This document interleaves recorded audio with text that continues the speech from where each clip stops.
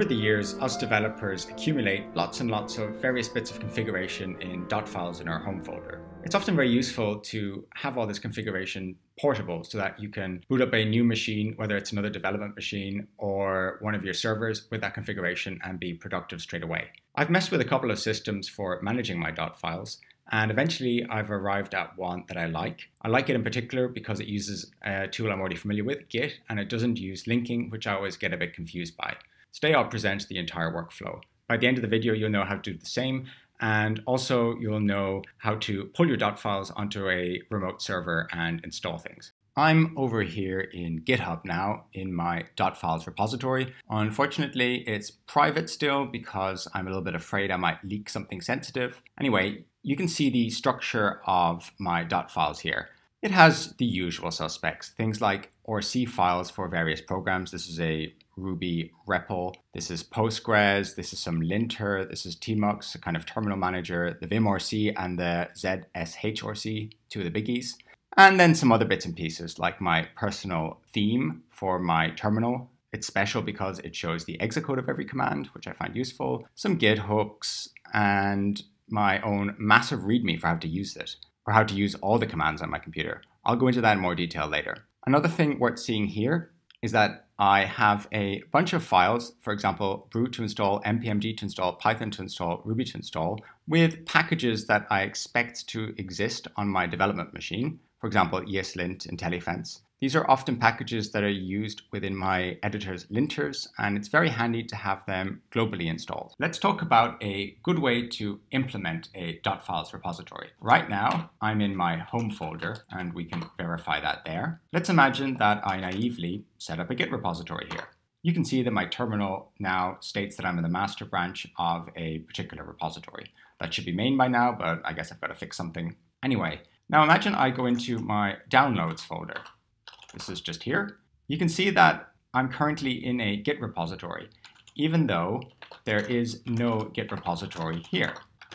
I guess I need ls-a, but it doesn't really matter. I think it's automatic. Anyway, if I remove the Git repository in my home directory like so, then you can see that the downloads folder is not a Git repo. The reason why all of this is useful is because you don't want the Git repo in your home directory that you're using for your dot files to conflict with Git repos in your code folders and so on. That's just going to create a mess. I told you a second ago that ls is alias to ls-a. Let's prove that. You can see on the screen that this is confirmed. I ended up using a similar approach to create a command called dot files that replaces git. Let's have a look at the exact alias. Let's unpack this a bit. The first bit you see is just a long way to refer to where the git binary is. Usually this is on the path, but here we're specifying it in full. I don't think it's completely necessary for these purposes. You can confirm it works right there. The next interesting bit here is this option flag dash dash gitdir equals home slash dot dot files folder. What this is doing is telling our dot files command to store all its git internal files in the files folder. This is instead of the default Git uses when you start a repo of slash git. Why do we do this? This is in order to enable us to simultaneously use the dot files command and also the regular git command, which you'd expect to continue working, on the same machine in the same folders. The last argument here, dash dash worktree equals home, is used to ensure that our dot files alias can be used deep within the directory tree, for example, home slash code slash client name slash project, and still work correctly and intuitively. Without it, the dot .files command will believe that the files it expects to exist at certain relative directories to where you call it have been deleted, even though they exist within the home directory. I'm going to make this clearer with a couple of interactive examples. From my home directory, I'm going to go to the code directory slash oxnotes, uh, oxnotes 4 rather. Now, here I'm going to call .file status to see what's going on. And we can see that the githooks pre-commit file that exists two directories up has been modified. This is intuitive because I am two directories deeper within this Oxbridge Notes folder.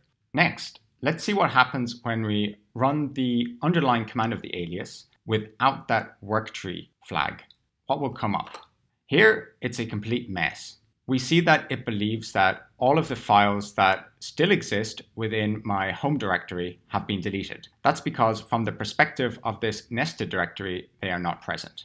Now you can see the reason for that extra flag within this alias. Also, to show you how this doesn't interact with Git, let me do git status within this particular piece of code. And you can see the work directory is clean. Whereas if I do .file status, it knows that I modified one of my git hooks back in the home directory. Let's go to the tmp folder and create a fake .files command in order to show you how to get started. Let's walk through how to get started with your .files repo. So what you're going to do is use git init dash dash bare, that's important, and dot .files. This will initialize a repo there. If we cd into this particular repo, you'll see that there's an error thrown by my shell. You can ignore that. Now I'm going to create a variant of the dot .files alias we had earlier. This one just be df2 or dot .files2, and it's set up to use the dot .files directory here. All right, let's give that a run and see what happens. df2 status. Okay, now we see there's quite a lot of files listed. You can imagine that if you were in your home directory instead, there might be hundreds of these particular files that can get noisy. In order to reduce the noise, we configure this particular git alias df2 to not show untracked files. Now, when we run git status, or sorry, when we run df status, df2 status, we see nothing. So how are we supposed to add files in that case? How noisy? Well, let's go over to the home directory and have a look at how many files are within my home directory.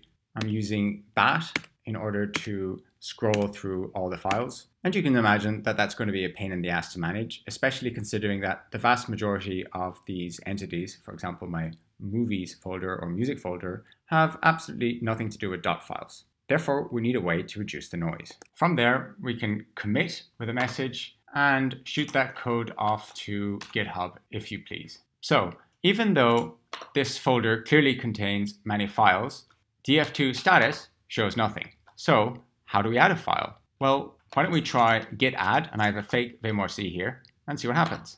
Oops, I forgot to use the df2 alias. Let me do that now. And now let's do df2 status. You can see it was added. Next, let's show how you can get your dot files on another machine, for example, a server you're administering. So I'm going to create another directory as a subdirectory of tmp, and it's going to be just basically jack2. And then I'm going to go into jack2 and I'm going to clone my dot files in here. Let's try this particular clone command.